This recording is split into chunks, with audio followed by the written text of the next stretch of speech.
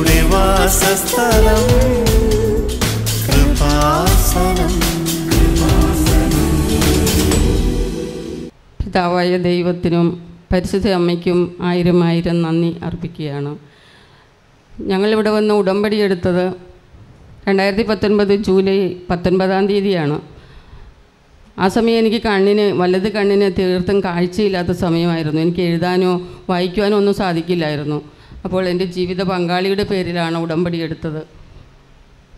ഞങ്ങൾ ഉടമ്പടിയിൽ ആറ് കാര്യങ്ങൾ വച്ചു പ്രാർത്ഥിച്ചു. അതിലൊന്ന് എന്റെ അനുജത്തിയുടെ കാലിൽ ഇരുപത് വർഷമായിട്ട് മുട്ടിന് താഴേക്ക് ആദ്യമേ ഒരു ചെറിയ ഒരു ഒരു പരു പോലെ വന്നു തുടങ്ങിയതാണ്.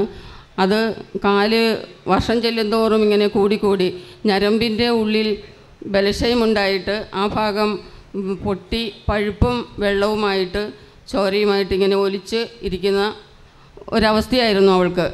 വിവാഹ ജീവിതത്തിലേക്ക് കടന്ന ഉടനെ തുടങ്ങിയതാണ്. എങ്കിൽ പോലും ആ ജീവിത പങ്കാളിയുടെ അവളോടുള്ള സ്നേഹം കൊണ്ടും ദൈവത്തിന്റെ പ്രത്യേക അനുഗ്രഹം കൊണ്ടും ഇരുപത് വർഷം കഴിഞ്ഞിട്ടും ഇന്നും അവർക്ക് യാതൊരുവിധ കുഴപ്പമില്ലാതെ ജീവിക്കുകയാണ്. ആ മകളുടെ കാൽ പഴുത്തു കഴിഞ്ഞാൽ അതിനിടയ്ക്കൊരു മോനും ഉണ്ടായി. അതുമൊക്കെ ഈ സഹനത്തിലൂടെ തന്നെയായിരുന്നു.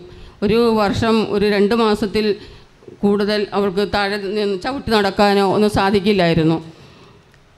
ബാക്കി സമയം മുഴുവനും ബെഡിൽ തന്നെ കാൽ നീട്ടി വെച്ചിരിക്കുക. അവൾ തന്നെയാണ് ആ മുറിവുകൾക്ക് ക്ലീൻ ചെയ്യുക മരുന്ന് വയ്ക്കുക ഇതൊക്കെ തന്നെയാണ് അവളുടെ ജോലി. കൂടുതൽ സമയം പ്രാർത്ഥിക്കുകയും ചെയ്യുന്ന മകളാണ്. പക്ഷേ ഞാൻ കണ്ട് എനിക്ക് മുറിവുകൾ കഴുകുന്നതൊക്കെ കാണുമ്പോഴേക്കും എനിക്ക് കാണാനും പറ്റില്ല. ഞാൻ ആകെ കാണുന്ന സമയത്ത് കരയാറ് കരയാനേ എനിക്ക് സാധിക്കുന്നുള്ളൂ പ്രാർത്ഥിക്കുകയും ചെയ്യും. പക്ഷേ ഞങ്ങൾ ഉടമ്പടി എടുക്കാൻ വന്നപ്പോൾ ആ മകൾക്ക് വേണ്ടി അമ്മയുടെ സന്നിധിയിൽ അപേക്ഷ വെച്ച് പ്രാർത്ഥിച്ചു. അതിന് ആ സമയത്തും അവൾ കട്ടിലിൽ തന്നെ ഇരിക്കുന്ന സമയമായിരുന്നു. എന്നാൽ ആ ഉടമ്പടി എടുത്ത് പ്രാർത്ഥിച്ച് കഴിഞ്ഞ ഓഗസ്റ്റ് മാസം തൊട്ട് അവളുടെ കാലിൽ പിന്നെ ഇതുവരെ പഴുത്തിട്ടില്ല. ആ വ്രണം ഉണങ്ങി ഇരിക്കുകയാണ്